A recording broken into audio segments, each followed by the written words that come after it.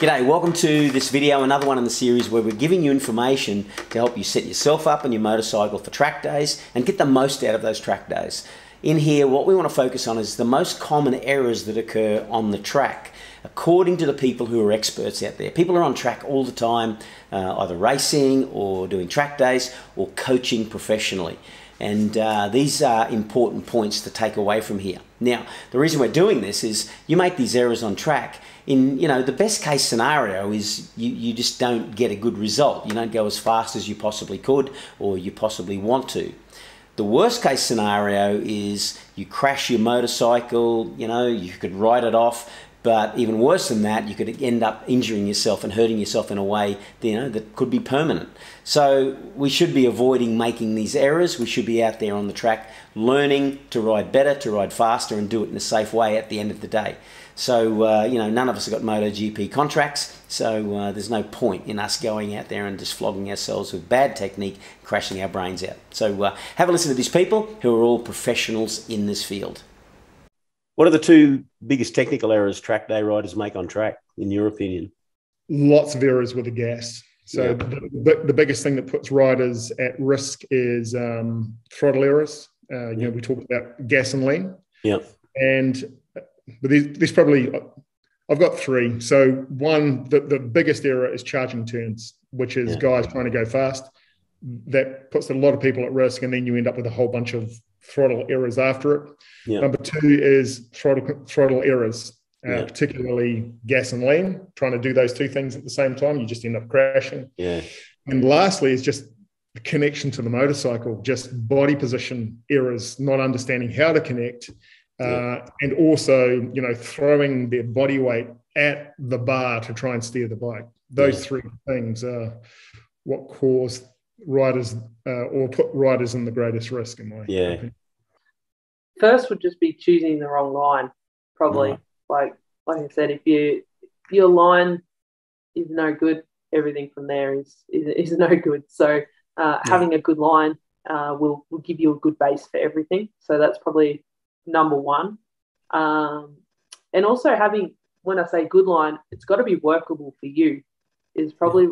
like I see one of the biggest technical errors would be people trying to replicate other people's lines without the understanding of why or having the skills to do it.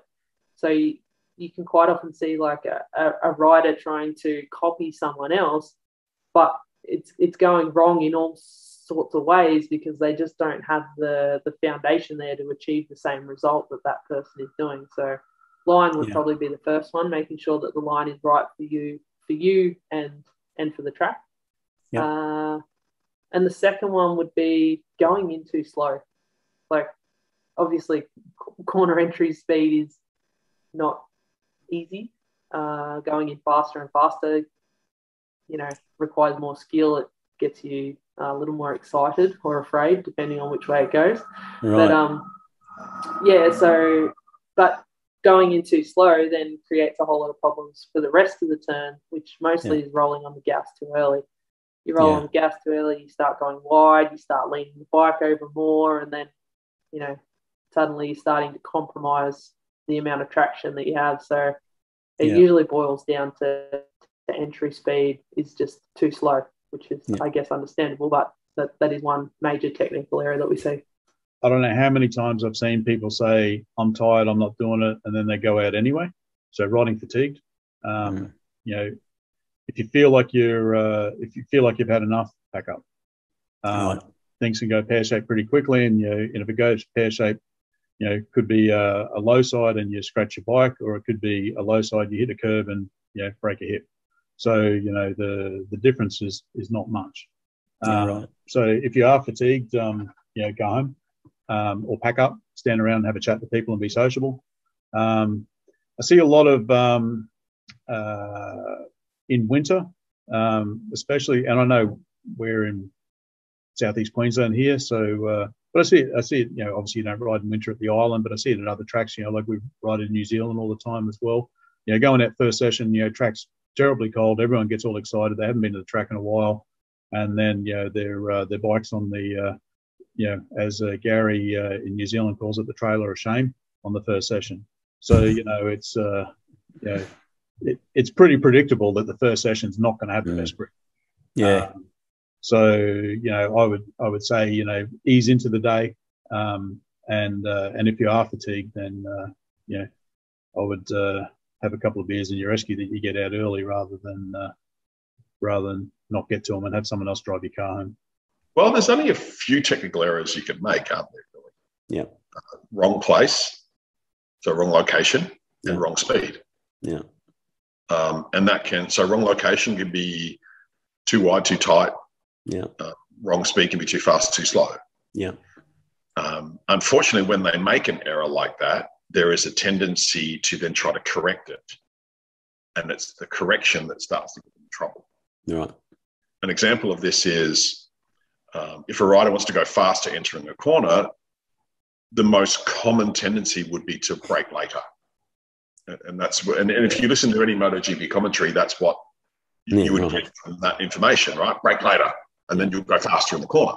Yeah. Of course, what happens though, in 99.9% of the time, you brake later coming up to a corner, you actually end up going slower in the turn. over brake. Exactly. So, that being the case, then you then say, oh, well, that didn't work. I went slower, so I need to brake later. Mm. And you end up just, and, and of course, the reason why they end up going slower is because the deceleration forces happening so quickly, Mm. there's not the ability to sense the actual speed that they're riding at. Mm. So, if I decide to then go, oh, well, that didn't work, I must need to brake later then. Mm. I'm actually just making the problem worse. Yeah. So, um, really, the, the two key things is that they either are in the wrong location or at the wrong speed. Right. The reasons for that, well, Could be many That's things, couldn't it- it? that's where the complexity comes in. Yeah, right, right. Because it could be anything. References, visual, uncomfortable on the bike, and yeah, Exactly. Yeah, right. exactly. What you ate for dinner last night. yeah. You know, I mean, it could be anything. Well, there you go. There's a series of errors there, and uh, you know, I'm sure you've made those errors yourself at some point in time. I know I have, and uh, it's important that we learn from those and we don't make those errors again. So enjoy your track days, stay upright, have fun, don't do those errors, and uh, we'll see you out there, and we'll see another video. Bye bye.